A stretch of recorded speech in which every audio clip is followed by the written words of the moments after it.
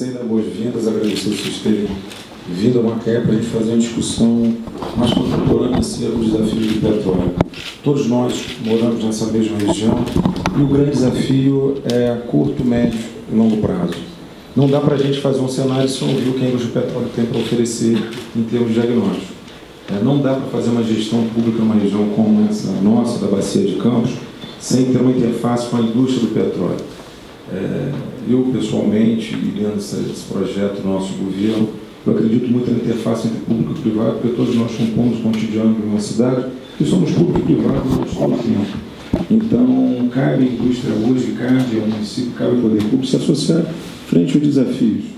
O desafio do petróleo, quanto tempo vai durar, os nossos postos são de fato eficientes ou não, quais são as novas tecnologias, o que vai ser do petróleo, vai ser de Macaé, vai ser de que vai ser de Rio Cabo Frio, Casimiro, enfim.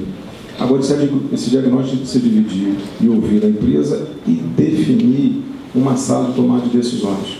E vocês precisam tomar decisão junto conosco. É, não dá para a gente é, decidir, não dá para a gente organizar uma região, uma cidade, sem a participação da indústria privada, prioritariamente a indústria petróleo.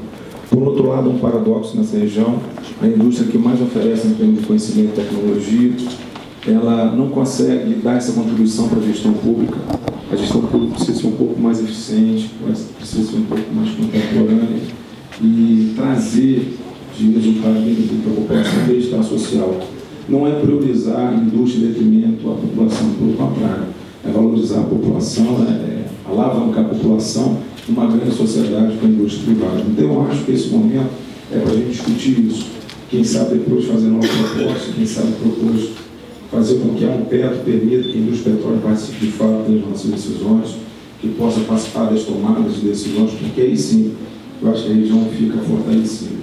Discutir o município sem a participação da indústria petróleo me parece que é uma, que é uma discussão é, pouco é, fortalecida. A gente não, não, não aproveitar essa oportunidade frente à indústria e o conhecimento que a gente tem é perder uma grande oportunidade. Então, acho que o tema pode ser nesse diapasão. Agradecer a presença de todos vocês. A gente sabe a importância que cada um de vocês tem hoje no cotidiano da empresa, mas eu acho que esse momento é um momento fulcral para a região. É a indústria do petróleo, poder tomar decisões junto com o poder público e aí a gente caminhar num sentido um pouco mais, mais econômico. Muito obrigado. Obrigado, Luiz.